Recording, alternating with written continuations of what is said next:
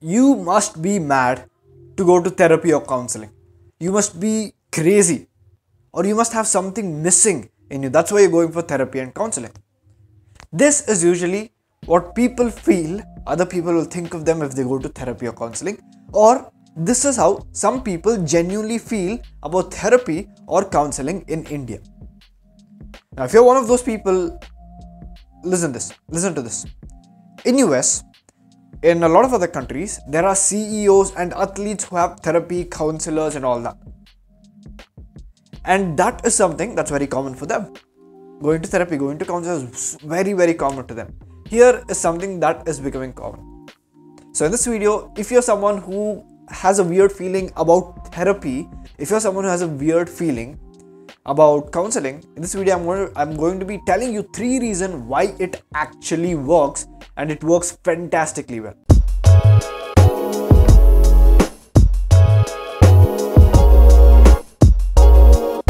Welcome to Rich Living Mastery, where we create content to help you optimize three areas of your life health, wealth, and relationships. Now, before I start with three reasons why this works, here's what you need to know. Here's why I know what I'm kind of talking about. One reason is I have met therapists, I've tried therapy, I've tried counseling. It's not something that's for me, but I've tried it and I found it works. Second part is from learning cognitive behavioral therapy neurolinguistic programming and from my interest in psychology, I kind of understand their tips and tricks. And I'm telling you, on the surface, it might seem like, you know what, they're just listening to you and all that. But deep down inside, there's so many amazing tricks or techniques that they use to actually transform you. These are some of the most proven, some of the most effective tips. And another reason is this. Third reason is this. If you're an Indian, in ancient times, when people had trouble, what did they go go to? Scriptures or some Swamijis or someone, uh, some people in temples, and ask them for advice.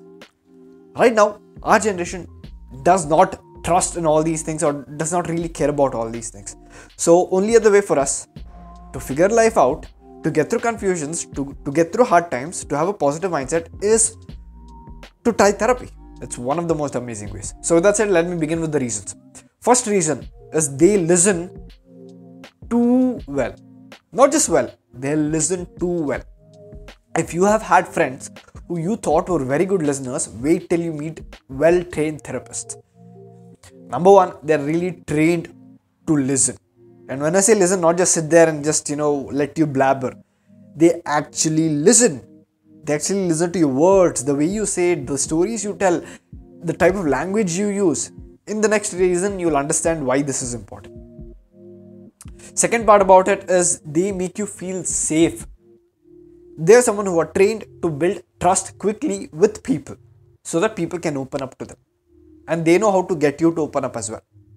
And beyond that another thing that you have is privacy. Have you told a friend a secret? And before you know it that secret has become like a secret between you and a lot of a lot of other people. Before you know it that is spreading like wildfire. That is something that will almost never happen in therapy. They maintain very good uh, privacy of what you tell them.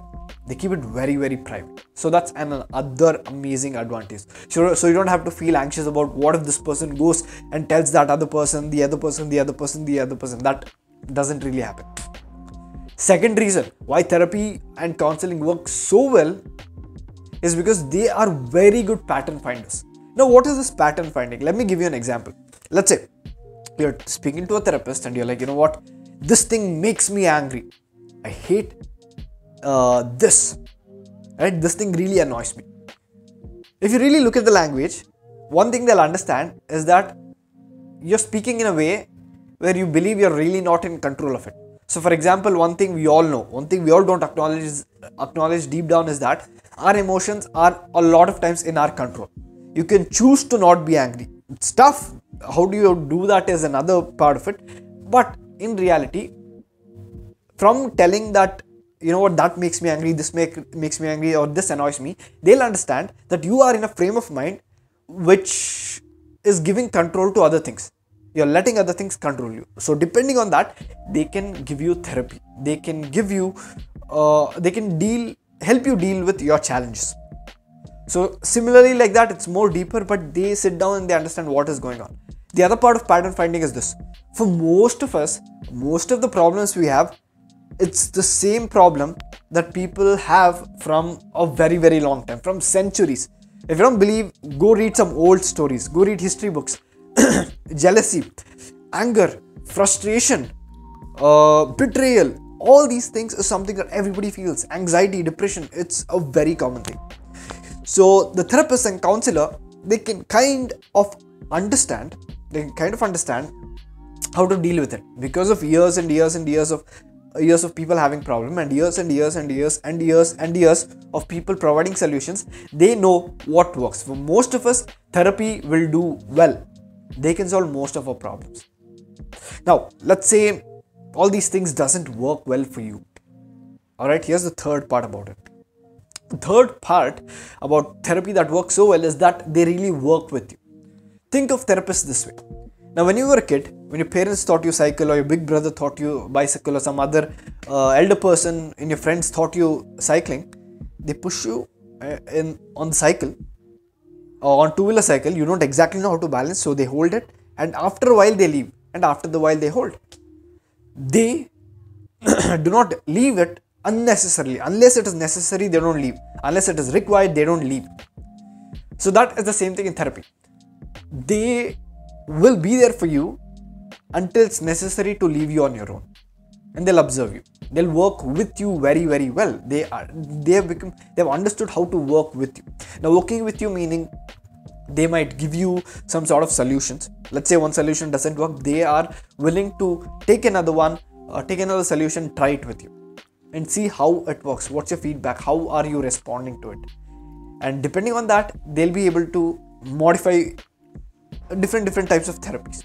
Now let's say even though they don't have like they don't really have solution they have big library full of techniques and tips that has been uh, mentioned for a lot of years it has been collected for a lot of years of research and a lot of years of people others other therapists trying different different variety of solutions and not only that let's say it doesn't work for you or you need some special form of therapy they have network of therapists that they can refer you to. They'll pick the right person and they send them to you. So a lot of times you trying to find another therapist, trying to see whether this works or not, worrying too much about it is kind of gone. These are three reasons why therapy works. I know this is overly simplified. If you meet a therapist or if you meet a counselor, you will understand how wonderful they are. Ask them to explain you their tricks or uh, or the way they listen to or what do they look for. It's very very interesting. So that said, I'm going to end this video with a fun fact. Do you know a fun fact is a lot of therapists I've met, they have other therapists who help them through their problems.